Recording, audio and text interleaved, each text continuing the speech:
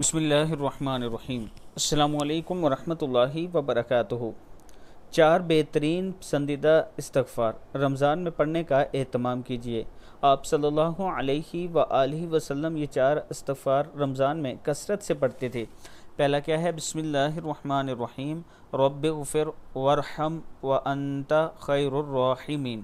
دوسری ہے، بسم اللہ الرحمن الرحیم استغفر اللہ ربی من کل ذنب و اطوب الی تیسری ہے، بسم اللہ الرحمن الرحیم، اللہم اغفر لی، اللہم اغفر لی ورحمنی۔ بسم اللہ الرحمن الرحیم، اللہم انکا عفو تحب العفو فاعفو عنی۔ صدق اللہ العظیم۔ اللہ تعالی ہم سب کو اس پر عمل کرنے کی توفیق عطا فرمائے۔